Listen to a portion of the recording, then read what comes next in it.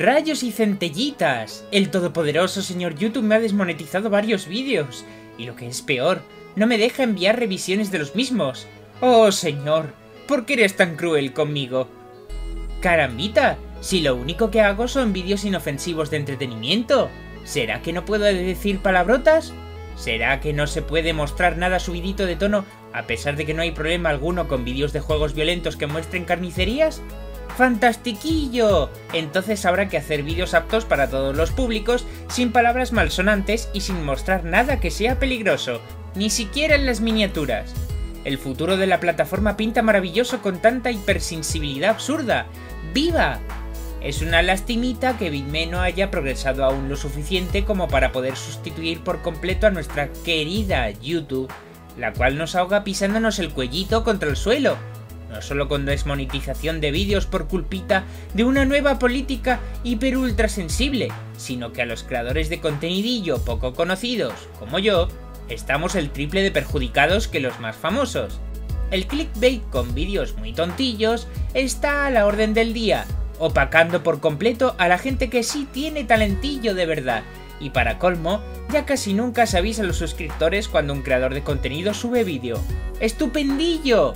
YouTube quiere que todos seamos Ned Flandercillos y hagamos vídeos family friendly aptos para toda la familita.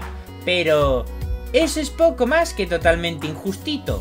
Cada uno debería ser capaz de subir vídeos hablando de los temas que quiera y expresándose como le dé la real ganita, dentro de lo razonablemente aceptable, tal y como ocurría antes, lo cual demuestra que en la actualidad YouTube ya ni siquiera está controlada por hermosos monitos inteligentes, sino por gentucilla mala malita que confunde una mesa con un coche y ven fantasmitas donde no los hay. Pues lo siento muchito, pero yo estoy harto hartito, queridos espectadorcillos míos. A pesar de tener un canal propio en Bitme, no puedo abandonar YouTube por completito, puesto que, como dije antes, Bitme no ha crecido aún lo suficiente, ni en opcioncillas, ni en personitas que la utilicen.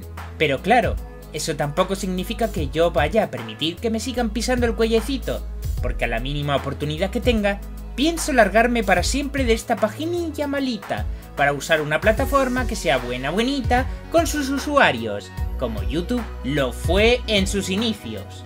Yo voy a seguir siendo como soy y haciendo videitos como los que hago, sin censurarme.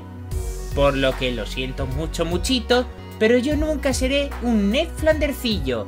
Así que, yo, ¡Cómeme los putos huevos!